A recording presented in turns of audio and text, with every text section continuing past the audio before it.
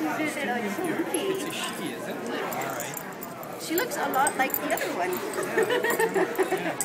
um, do you need any supplies? Or, Uh, 'cause I think she's still got the crate